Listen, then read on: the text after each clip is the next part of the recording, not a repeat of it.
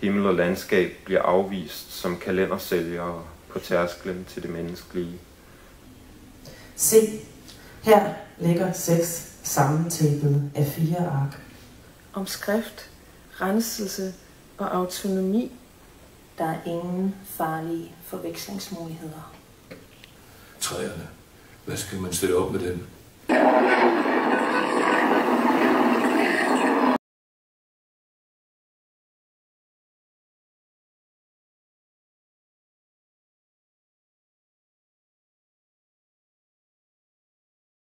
Glæder mig til at være med igen.